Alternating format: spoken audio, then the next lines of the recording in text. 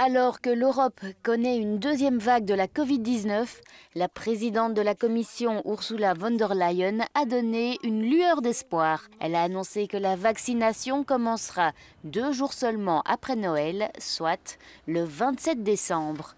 Il est prévu que chaque pays de l'Union reçoive le vaccin le même jour. Après, il appartiendra aux gouvernements nationaux de déterminer sa stratégie de vaccination. Ce qui est important, c'est que tous les Européens aient accès au vaccin le même jour.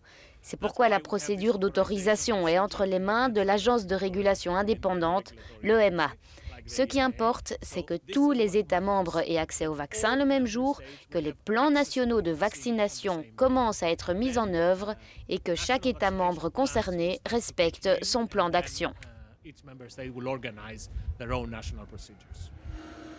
Cette bonne nouvelle arrive après une longue année tragique. Mais le chemin vers cette journée de lancement a été critiqué par beaucoup comme étant trop long et trop lent.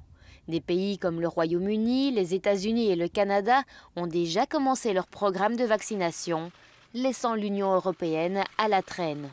Selon le ministre allemand de la Santé, c'était une question de solidarité plutôt que de rapidité.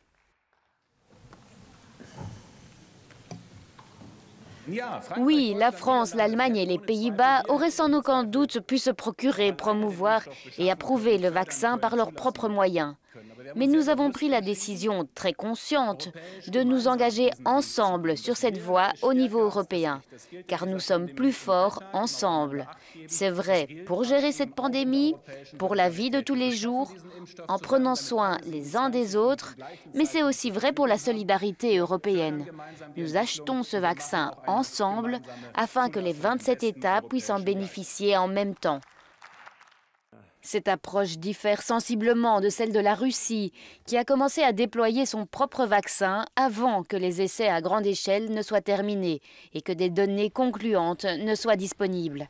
L'Agence européenne des médicaments espère toutefois que son approche plus prudente portera ses fruits après que de graves réactions allergiques aient été signalées chez deux Britanniques et un Américain qui recevaient les vaccins. L'organisation demandera également aux entreprises de fournir chaque mois, plutôt que tous les six mois, des informations sur les effets secondaires, car il manque toujours des données sur la sécurité à long terme.